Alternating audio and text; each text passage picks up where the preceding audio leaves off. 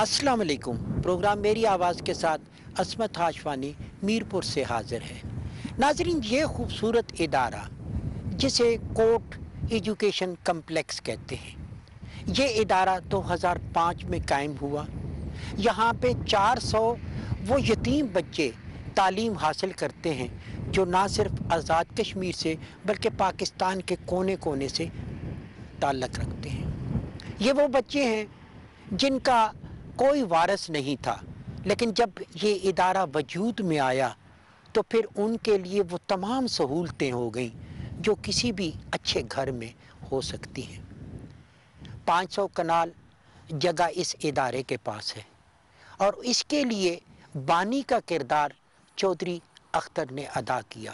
اور دلچسپ بات یہ ہے کہ یہ شخص جس نے اس ادارے کی بنیاد رکھی، اس نے برطانیہ میں جنم لیا وہیں پہ پیدا ہوا، وہیں پہ تعلیم حاصل کی، لیکن جب دو ہزار پانچ میں یہاں پہ تباہ کاریاں دیکھی تو پھر انسانیت کے ناطے انہوں نے یہ فرض سمجھا کہ وہ بچے، جو یتیم بچے ہیں، ان کو زندگی کا حق دیا جائے۔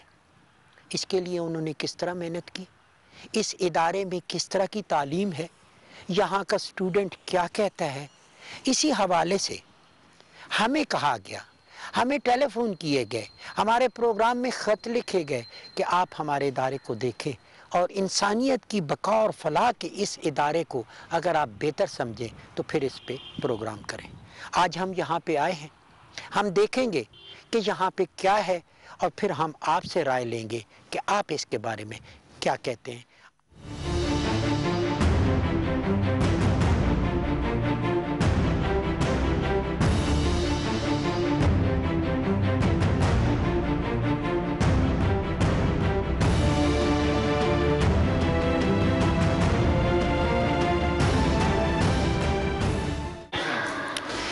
ناظرین، آپ کو یہاں پہ ادارے میں، ہاسٹل میں جب آئیں گے تو ہر کمرے کے سامنے ڈونر کا نام لکھا ہوگا۔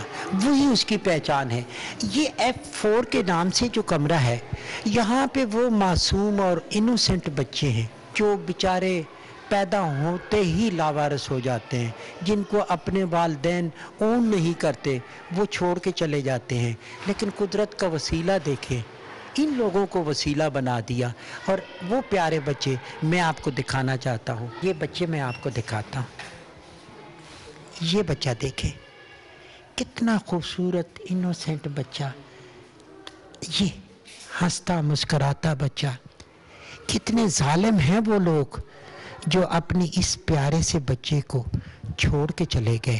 خوبصورت بچی ہو یا بچہ ہو، اور انہی بچوں کے بارے میں بابے بلے شاہ نے کہا بچے جیا پھل نہ ڈٹھا جنا کچا اونا میٹھا. بہت زیادہ خوشی محسوس ہوتی ہے کہ اللہ تعالیٰ نے مجھے ان بچوں کی خدمت کرنے کا موقع دیا ہے۔ اب اس کو میں کیسے بیان کروں؟ اب یہ چوبیس گھنٹے کے پاس ہوتی ہے۔ چوبیس اب دیکھیں تم پاس جاؤ جاؤ جاؤ میرے پاس۔ ارے گڈ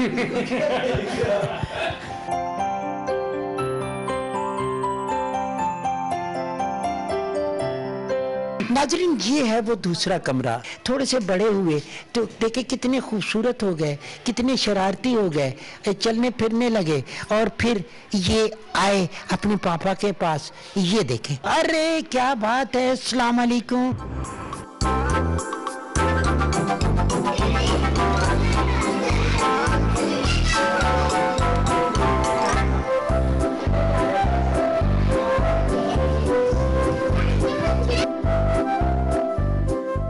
سات سال۔ سات سال ہو گئے۔ پہلے آپ بھی اتنی چھوٹی تھی جب آئی۔ جی۔ یہی وہ بچی ہے جو بڑی ہو کے ان چھوٹوں کی باجی بن گئی اور یہاں پہ ان کی خدمت کرتی ہے۔ کچھ بچے بالکل آپ اگر دیکھیں یہ خواب خرگوش کے مزے لیتے ہوئے کتنے سکون اطمینان کے ساتھ سوئے ہوئے ریشمی کمبل میں لپٹے ہوئے۔ اور جب ان کو ماں باپ چھوڑ کے گئے تھے تو اس وقت یہ بے آسرا تھے بے سہارا تھے۔ ان کے بدن پہ کوئی کپڑا نہیں تھا۔ اور آج یہ قدرت کی فیاضی دیکھیں کہ یہ بچے یہاں پہ موجود ہیں۔ اور یہ کھیلتے بچے یہ پیارے سے بچے۔ کیا نام ہے آپ کا؟ کیا نام ہے؟ عثمان۔ اور رحمان۔ یہ دونوں ٹرین بچے بھی اس ادارے کو ایک ایسٹ کی شکل میں ملے اور یقیناً یہ خوبصورت ایسٹ ہے۔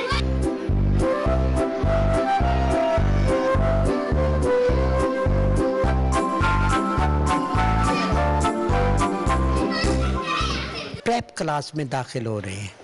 السلام علیکم۔ یہ پرعزم بچے جب اس انسٹیٹیوشن میں آئے ان کو کمی نہیں فیل ہو رہی۔ یہ ٹیچر ان کے ماں باپ کا رول بھی کر رہے ہیں اور ادارے کے سربراہ اور ان کی تمام ٹیم جو ہے ان بچوں کے ساتھ ہے اچھا آپ کا نام کیا ہے؟ Name is Isha. دو چھوٹی چڑیا بیٹھی ہوئی تھی باغ میں۔ ایک کا نام موتی ایک کا نام لال۔ اڑ جا موتی اڑ جا لال۔ ارے کلیپنگ دے دینا کتنا زبردست ہے Twinkle, twinkle, little star, how I wonder what you are. A bird that was so uh, like a diamond in the sky. ناظرین اسی پریپ کلاس کا بچہ عقیل میرے ساتھ ہے عقیل اچھا یہ جو آپ صبح اٹھتے ہیں یہ یونیفارم آپ کی اور یہ کتابیں آپ کا بیگ یہ کون تیار کرتا ہے؟ جب ہم صبح اٹھتے پہلے نماز کے لیے جاتے واپسی میں آ کے ناشتہ کرتے ناشتے سے پھر ناشتہ کر کے آنٹی ہمیں تیار کرواتی ہیں۔ تیار کے بعد ہم اسکول جاتے ہیں اسکول سے واپس آتے ہیں یونیفارم اتارتے ہیں پھر کھانا کھانے جاتے ہیں کھانے کے بعد کھیلتے۔ ہیں یہ آرفن بچے ان کے لیے ہاسٹل کے اندر ان کے لوک آفٹر کے لیے ان کی مائیں ہیں وہ بالکل ماؤں جیسا پیار کرتی ہے ناظرین نرسری کی کلاس میں ہم آ گئے اور یہ یہاں پہ ایک ٹیچر جو ہے بچوں کو پڑھا رہی ہے السلام علیکم۔ آپ کا نام کیا ہے؟ زویا۔ زویا۔ مائی نیم از حلیمہ مائی نیم از فاطمہ فاطمہ۔ فاطمہ کچھ سنائے گی؟ Clap your hands, clap your hands. Listen to the music and clap your hands. Stamp your feet, stamp your feet. آپ کے پاس بہت سارے بچے اور خاص طور پہ آرفن بچے کیسے آپ ان کو کس جذبے کس پیشن کے ساتھ لے کے چلتے ہیں اسٹارٹ میں تو یہ ہوتا ہے کہ ان لوگوں کو، ان کی فیملیز کا کافی ہوتا ہے کہ وہاں سے ہم لوگ آ رہے ہیں، تو ایڈجسٹ ہونا ان کے لیے کافی ٹف ہوتا ہے۔ لیکن یہ ہے کہ as a mother as a teacher دونوں طرح سے ہمیں ان کا رول جو ہے نا پلے کرنا ہوتا ہے ان کی کلاس میں۔ ہاسٹلس میں ہے کہ ان کی جو ٹیک کیئر کے لیے وارڈنس ہیں ساری ان کا کر رہی ہوتی ہیں۔ کلاس میں بھی ہمیں ایز اے ٹیچر بھی آتے ہیں ہم لوگ ایز اے مدر بھی ہم لوگ ان کو ڈیل کر رہے ہوتے ہیں۔ چلیں شروع کریں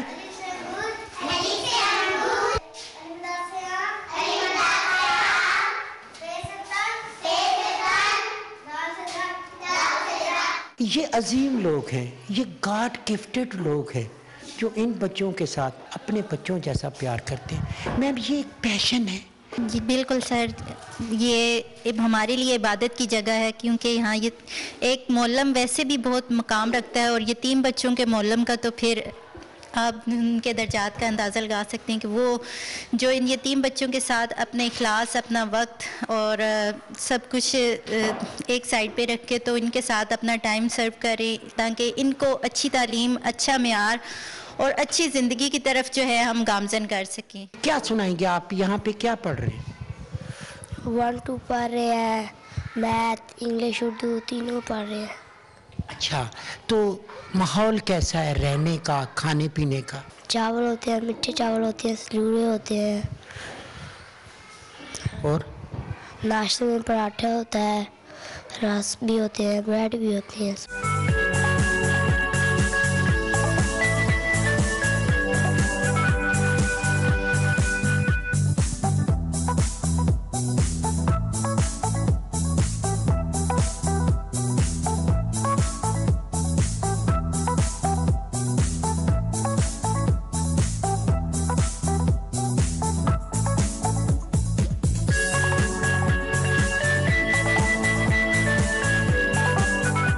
جہاں پہ کوٹ میں تقریباً چار سو سے ابو سٹوڈنٹ ہیں اور ان کے لیے صبح شام کھانا بھی بنتا ہے، ناشتہ بھی بنتا ہے۔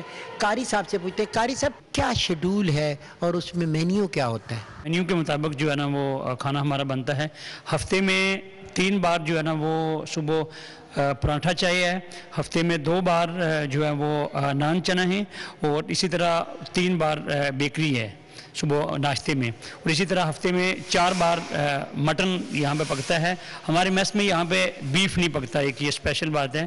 پانچ کک ہیں ہمارے پاس جو اس کھانے کو تیار کرنے میں ہماری جو ہے نا وہ مدد کرتے ہیں۔ اور یہ آیاز ہم، آپ کے سامنے ہیں۔ کہ جو بچوں کو کھانا سرو کرتی ہیں اور اس میس حال کو صاف کرتی ہیں، یہ سارا ان کا کام ہے۔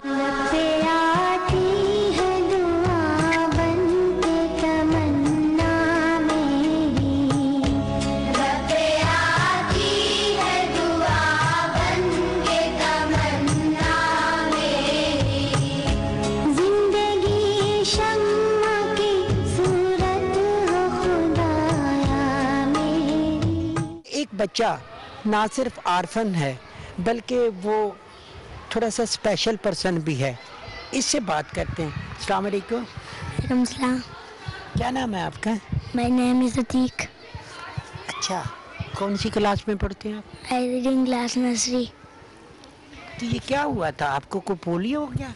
یس یہ بچہ زیادہ محبت اور توجہ کا مستحق ہے۔ نہ صرف عارفن بچہ۔ بلکہ اسپیشل پرسن اسپیشل بچہ ٹیچر ادارہ ایسے بچوں پہ زیادہ توجہ دیتا ہے۔ اور آپ کا نام کیا ہے جو آپ شریار یہ ابھی تھوڑی دیر پہلے اسی شہریار سے ہم بات کر رہے تھے۔ اچھا اسٹوڈنٹ پڑھنے والا لکھنے والا اور دوسروں بچوں کے لیے ہمدردی رکھنے والا۔ اس ویل چیئر کو یہی کیری کرتا ہے۔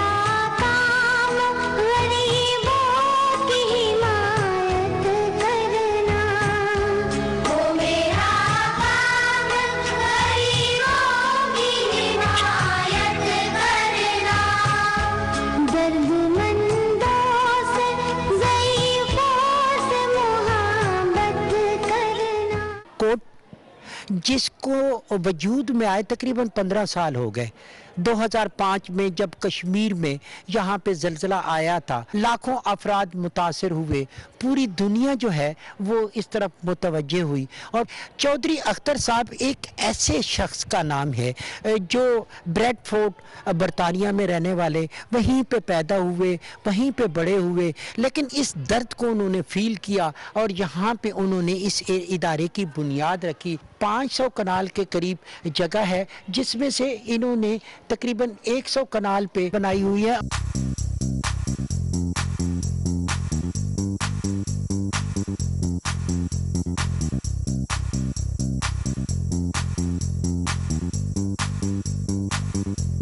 ٹینتھ کلاس ہے۔ اس کے اندر جاتے ہیں۔ سٹڈی کا ماحول آپ کو دکھاتا ہوں اور یہاں پہ بچوں کو آپ پڑھتے ہوئے دیکھتے ہیں۔ آپ اس ادارے میں کب سے ہیں؟ السلام علیکم۔ میرا نام جنید ہے۔ میں اس ادارے میں نو سال سے ہوں۔ الحمدللہ ہم ہاسٹل میں رہتے ہیں۔ یہاں پہ سب کچھ اچھا- بہت اچھا ہے۔ یہاں پہ ایسے بچے ہیں جن کو چودہ سال ہو گئے تیرہ سال ہو گئے۔ یہاں پہ اسٹوڈنٹ بچیاں بھی ہیں اور یہاں پہ ایک بڑا تربیت یافتہ سٹاف بھی یہاں پہ موجود ہے۔ مجھے یہاں تین سال ہو گئے ہیں پڑھاتے ہوئے۔ الحمدللہ بہت اچھے بچے رسپانس کرتے ہیں۔ ان بچوں کو بہت اچھی فیسلٹیز مل رہی ہیں۔ جو کہ کسی عام ادارے میں نہیں ہوتی۔ اور یہ بچے وہ ہیں جو کل کا ہمارا روشن مستقبل ہیں۔ ایک بچی کو بچے کی نسبت مختلف ماحول چاہیے ہوتا ہے۔ کیسا ماحول ہے یہاں پہ ٹیچنگ کا، رہائش کا اور رہنے کا؟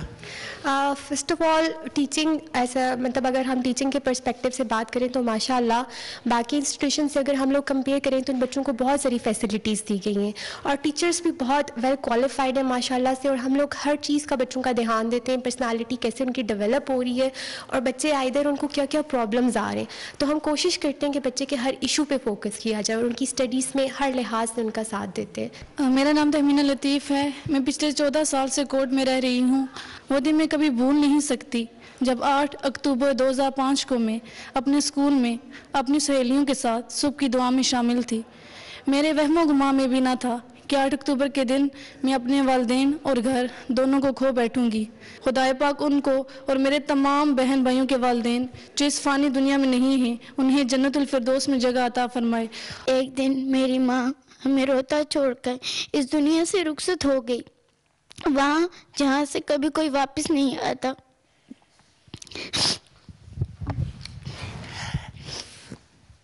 لائبہ۔ لائبہ اب کسی رکشے والے کی نہیں، اس قوم کی بیٹی ہے۔ اور قوم کے وارث موجود ہیں۔ یہ فزکس کی لیب ہے۔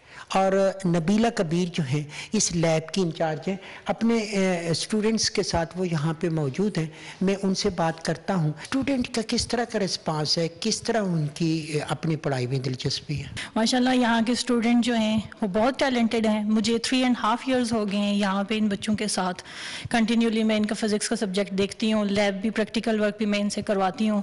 لیکن میں نے یہ دیکھا ہے کہ ان کے اندر ٹیلنٹ ہے بہت۔ بس اس کو وہی بات ہے، اجاگر کرنے کی ضرورت ہے۔ اسپیشلی کمپیوٹر میں ان کا انٹرسٹ ہے اس کے علاوہ یہ electrical engineering mechanical engineering software engineering کے ان کے ہیں خواب کہ ہم ان کو پورا کریں تو میری یہی وش ہے کہ آج سے کوئی پانچ دس سال بعد جب یہ بچے یہاں سے نکلیں یا کسی بھی یونیورسٹی میں جا رہے ہیں، تو پھر وہ اس قابل ہوں کہ وہ پریکٹیکل فیلڈ میں کسی سے پیچھے نہ ہوں۔ ناظرین، اس ادارے کی ایک اور خوبصورت جگہ کوٹ وال آف سپورٹ کے بارے میں مجھے بتائیں۔ سر بیسکلی کوٹ وال آف سپورٹ جو یہ ہمارا جو سیٹ اپ ہے یہاں پر، یہ ٹوٹلی چیریٹی بیسس کے اوپر ہے۔ سارے ہمارے انڈویجنلی ڈونیشن آتی ہیں ڈونرز ہیں ہمارے۔ سب سے پہلے کوٹ جب سٹارٹ ہوا تھا، ہم نے کمپین لانچ کی تھی۔ ایک اینٹ لگائیں، جنت میں اپنا نام کمائیں۔ اس کے حساب سے۔ جب دو ہزار پانچ کے بعد اختر صاحب نے مختلف جگہوں کے اوپر اس کی لانچنگ کی کمپین کی کہ ہم یہ کچھ کرنا چاہ رہے ہیں مختلف جگہوں کے اوپر اپیلز تھیں۔ تو پھر یہ وہاں سے سٹارٹنگ شروع ہوئی اس کی کہ ہم نے یہ چیزیں بھی کرنی ہے کسی نے اینٹ دی کسی نے ماربل ڈونیٹ کیا کسی نے اسٹیل کسی نے کچھ۔ ایک اپنا اپنا لوگوں کا انداز تھا۔ اس انداز کو اپناتے ہوئے پھر آج یہ ہماری وال جو ہے ان کی ایک میموری کے طور پر ایک لوگوں کو موٹیویشنلی طور پر اوپر لانے کے لیے یہ سارا کچھ۔ زیادہ تر لوگ یو کے سے ہیں۔ ٹوٹلی اس میں جتنے لوگ ہیں تقریباً نائنٹی پرسینٹ یو کے سے ہی ہیں ہمارے۔ ناظرین یہ بات درست ہے کہ زیادہ تر ڈونر جو ہیں وہ برطانیہ سے ہیں یورپ سے ہیں اور امریکہ سے ہیں لیکن اسی کے ساتھ ساتھ لوکل سطح پہ بھی بہت زیادہ ڈونر ہیں اس ادارے کے۔ یہاں پہ یہ تین لوگ آئے یہاں پہ یہ ڈونر ہیں اس ادارے کے۔ آپ لوگوں نے اس ادارے کو بنتے ہوئے دیکھا کیا کہیں گے اس ادارے کے بارے میں؟ یہ ادارہ غریب بچوں بچے بچوں کے لیے ہے اور جو اختر صاحب کام کر رہے ہیں یہ بہت ہی اعلیٰ کام ہے اور اس کو اپریشیٹ کرنا چاہیے۔ اور اس کے علاوہ جتنی بھی ہماری کمیونٹی ہے یو کے میں یا ادھر میرپور ذات کشمیر میں یا پاکستان میں سب کو کورٹ کی خدمت کرنی چاہیے۔ جس طرح طریقے سے بھی ہو اس طرح ان کی مدد کرنی چاہیے۔ آپ یہاں پہ رہتے ہیں آپ بھی یہاں پہ آتے ہیں ان یتیم بچوں کے لیے آپ بھی کنٹریبیوٹ کرتے؟ ہیں بالکل بالکل کرتے ہیں۔ ہمیشہ کرتے رہیں گے احمد سے کریں گے۔ جب تک زندے ہم کرتے رہیں گے۔ راویہ اختر صاحب نے بہت ہی اچھا کام کیا ہے۔ یہ جس جگہ ہم کھڑے ہیں یہ پہلے جنگل تھا۔ یہ جنگل میں مگر بنا دیا اختر صاحب نے۔ اور انشاءاللہ ہر آدمی سے اپیل کر دیا کہ ڈونیشن کریں۔ انشاءاللہ ہم بھی کرتے رہتے ہیں۔ جی ناظرین یہی وہ ادارہ ہے جس کے لیے ہم اسلام آباد سے آئے کوٹ۔ جو چار سو یتیم بچوں کی کفالت کر رہا ہے لیکن انتظامات ایک ہزار بچے کے ہیں۔ وسائل کیسے جنریٹ ہوتے ہیں؟ اس کے لیے کتنی کاوش ہوئی اور اس ادارے کو وجود میں آنے کے لیے کتنا وقت لگا؟ اس کے پس منظر میں کس طرح کا جوش جذبہ تھا؟ یہی ساری باتیں ہم اس ادارے کے بانی چیئرمین جناب چودھری اختر صاحب سے پوچھیں گے۔ سب سے پہلے تو ہم آپ کے مشکور ہیں جی آپ نے ہمیں وقت دیا اور اتنا خوبصورت ادارہ، اتنا پائیدار ادارہ انسانیت کی بقا اور فلاح کا ادارہ کیسے سوچ بنی آپ کی اور کب یہ وجود میں آیا؟ ادارہ، یہ دو ہزار پانچ کو ہمارا زلزلہ آیا تھا آزاد کشمیر اور پاکستان میں، یہ اس کے بعد وجود میں آیا۔ صورتحال کچھ ایسی تھی کہ میرے اپنی، میں، میری پیدائش برطانیہ کی ہے اور وہیں ٹی وی پہ دیکھ رہے تھے جلکیاں یہ جو اتنا بڑا حادثہ ہو گیا تھا۔ اور زندگی میں پہلی بار کوئی جذبہ جاگا کہ اللہ کی مخلوق کے لیے کچھ کرتے ہیں، تو آئیں کچھ اپنی فیملی دوست باب سے ایک کروڑ روپیہ کی رقم اکٹھی کر کے یہاں آئیں کچھ چند دنوں کے لیے، ہفتے کے لیے آتے ہیں، کچھ کر کے اپنی دنیا میں واپس چلے جائیں گے۔ لیکن ایسا ہونا نہیں تھا۔ ہماری سوچ کچھ اور تھی اور اللہ کی پلاننگ کچھ اور تھی۔ اس وقت جب آئیں اور مظفر آباد باغ، راولہ کوٹ منسیرہ میں ہم ریلیف کا سامان تقسیم کر رہے ہیں اور اس دوران باغ شہر میں سامان تقسیم کرنے کے بعد پتہ چلا کہ یہ وہ بچے جو اوپر جو گاؤں ہیں، متاثر ہو گئے پہاڑوں کے اوپر، یہ وہ متاثرین یتیم بچے تو میری اپنی ایک ہی اولاد ہے ایک ہی بیٹی ہے میری۔ اس وقت میری بیٹی کی جو عمر تھی، ساڑھے آٹھ سال تھی۔ اور ہر بچے میں مجھے اپنی بیٹی نظر آئی۔ اور ایک خوف سا پیدا ہو گیا کہ پتہ نہیں ان بچوں کو کیا ہوگا، ان کے ساتھ کیا ہوگا۔ تو آئیڈیا وہیں سے کلک ہوا کہ ان بچوں کے لیے کچھ کیا جائے۔ ایک خیال ہے کہ کیوں نہ میں دنیا کو تو نہیں بدل سکتا، سب بچوں کو تو تحفظ نہیں دے سکتا، لیکن کچھ کرنے، نہ کرنے سے کچھ کرنا بہتر ہے۔ تو واپس برطانیہ جانے کے بعد میں نے دوستوں سے رابطہ کیا کہ کوئی کرائے کی بلڈنگ لیتے ہیں۔ چلیں اور کچھ نہیں، کچھ پچاس سو بچوں کو ہم ان کی ذمہ داری لے لیتے ہیں۔ تو یہی ہم نے ایک کرائے کی بلڈنگ لی، ایک کرائے کا پلازا لیا رینویشن کا کام کیا۔ کیا کرنا تھا؟ ان بچوں کو کیسے میں نے تحفظ دینا تھا؟ ان کو کیا سہولیات دینی تھی؟ یہ مجھے کچھ علم نہیں تھا۔ ہاں یہ عید کر لیا تھا کہ بالکل احسان طریقہ وہی ہے۔ جو میں اپنی بیٹی کو دے رہا ہوں، حقیقی بیٹی کو، وہی ان کو دوں۔ تو میں نے کیا کیا؟ میں نے میری بیٹی کے پاس ایک بنک بیٹھ تھی برطانیہ میں۔ ویسے ہی میں نے پچاس بنک بیڈ کراچی سے بنوائی۔ پھر میں نے سوچا کہ کیا میں اپنی بیٹی کو کسی کا اترا ہوا کپڑا پہنے دوں گا؟ قطر نہیں۔ تو یہ اللہ سے وعدہ کیا کہ ان بچوں کو بھی میں کسی کا اترا ہوا کپڑا نہیں پہنے دوں گا۔ تیسری بات کہ یہ امانت ہے تو امانت ان بچوں کو، جو خدا کی امانت ہے، میں ان کو بچہ ہوا یا پکا باہر سے بانسی کھانا نہیں کھلاؤں گا۔ یہ جو تین چیزیں تھی جو میں نے ایک نیت یہ ارادہ کیا تھا۔ آج پندرہ سال گزر گئے۔ آج بھی اسی بھی قائم دائم ہے آپ کی تو زندگی بدلتی، کہاں یورپ کی برطانیہ کی زندگی، کہاں عبد الستار عیدی کی زندگی؟ میں سمجھتا ہوں کہ عبد الستار عیدی جو نام آپ نے لیا وہ ایک ایسی ہستی ہیں جو میرے لیے ایک رول ماڈل ہے۔ میں تو سمجھتا ہوں کہ ہم تو عبد الستار عیدی کے جوتے کے خاک بھی نہیں ہیں۔ اس قوم کو جو وہ دے کر گئے نا، وہ وہ کوئی میچ نہیں کر سکتا۔ وہ اپنی مثال آپ ہے اگر ہم ان کے نقش قدم پر چل کر خدمت خلق کر لیں گے، تھوڑی سی میں سمجھتا ہوں کہ یہ ہمارے لیے بہت بڑی اعزاز کی بات ہوگی۔ یہ میرا اپنا ایک خواب تھا۔ تو کچھ ایسا ہوا کہ چھ ماہ جب اس سفر میں جب میں گزر گیا ہوں، تو چھ ماہ کے بعد کچھ ایسا میرا سسٹم بن گیا تھا کہ میں دس دن ادھر، بیس دن برطانیہ میں، ادھر میری اپنی کاروبار ہے۔ میری بیٹی تھی ایک ساڑھے آٹھ، نو سال کی۔ میری جو اہلیہ ہیں، وہ تیئیس سال سے معذور ہیں، چل نہیں سکتی۔ ویل چیئر میں۔ وہ ڈسیبلڈ ہیں۔ چل نہیں سکتی۔ تو وہ بھی میری ذمہ داری ہیں۔ میرے لیے فیصلہ کرنا اب وہ گھڑی آ گئی تھی اور آپشنز میرے پاس دو ہی تھے۔ یا تو اس کو بند کر کر اپنی دنیا میں واپس چلا جاؤں ادھر، یا زندگی وقت کروں۔ جب وہ وقت تھا، میں ڈیسائیڈ کرنے والا تھا، تو میرے سامنے ایک چھوٹا سا بچہ، کوئی چار سال، پانچ سال کی عمر کا، سامنے آ کر کھڑا ہو گیا۔ وہ وہ بچہ تھا جو پچھلے تین چار ماہ سے میری ذمہ داری بن چکا تھا یتیم بچہ تھا، والدین دونوں اس کے یتیم ہو چکے تھے۔ اور ہر روز میرے پاس آ کر کھڑا ہو جاتا تھا، کہتا تھا، ماما کے پاس جانا ہے۔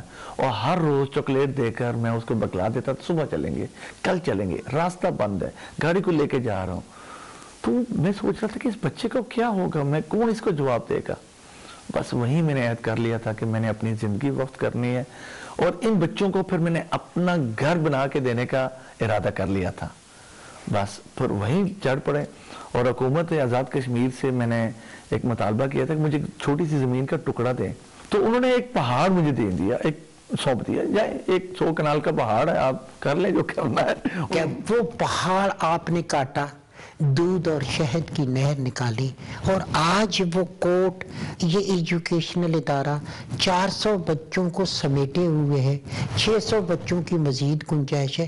تو یہ سسٹم چلاتے کیسے ہیں آپ یہ یہ ہم نے نہیں بنایا۔ یہ یہ اللہ اور اللہ کے رسول نے بنایا۔ میں تو خود حیران ہوں یہ کیسے بن گیا۔ ہم نے بڑی بڑی محنت کی ہے یہاں، پہاڑ کاٹ کر، دن رات لگایا۔ پھر باہر جا کر یہ کرنا، یہ بڑا مشکل کام ہے۔ لوگوں سے مانگنا، چندہ مانگنا، اس کے لیے اپنی انا مارنی پڑتی ہے۔ لیکن پھر ایک خیال آتا ہے کہ ہم اپنے لیے تو نہیں کر رہے، اللہ اللہ کے مخلوق کے لیے کر رہے۔ ہیں بس یہ جو اشیانہ ہم نے بنایا، نظریہ ہمارا یہ تھا کہ ہم نے یتیم خانہ نہیں بنانا۔ ہم نے ایک گھر بنانا، ان بچوں کو اپنا ایک گھر دینا۔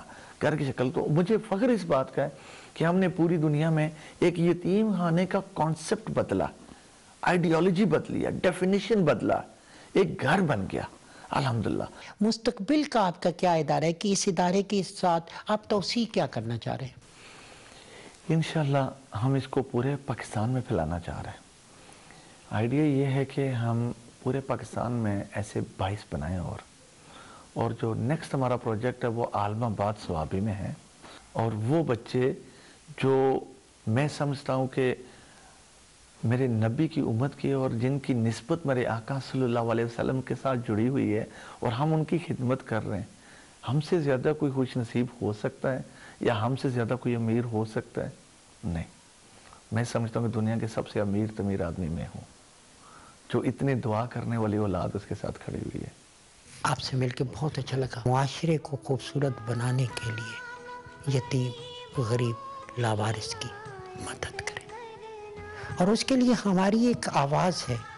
آئیے اپنی آواز اس میں شامل کریں، کیونکہ میری آواز آپ کی آواز ہے۔ اگر آپ سمجھتے ہیں کہ آپ کے پاس ایسا کچھ ہے، ہم آپ کی آواز بلند کریں، تو آپ ہمیں خط لکھیں۔ انچارج پروگرام، میری آواز، P T V news centre, Agha Khan road, Islamabad, آپ ہمیں ٹیلی فون کر سکتے ہیں۔ Zero five one nine two one double two double two اور nine two one double three double three پہ۔ ناظرین، میرا ایک ہی میسج ہے کہ انسانیت کی خدمت کے لیے جب آپ کام کریں گے تو اللہ آپ کے لیے راستے بنائے گا، کیونکہ درد دل کے واسطے پیدا کیا انسان کو، ورنہ عبادت کے لیے کچھ کم نہ تھے کروبیاں اسی کے ساتھ ہی عصمت ہاشوانی کو اپنی ٹیم کے ساتھ میر پور، آزاد کشمیر سے دیجیے اجازت، بہت جلد آپ سے دوبارہ ملاقات ہوگی۔ اللہ نے کے بان۔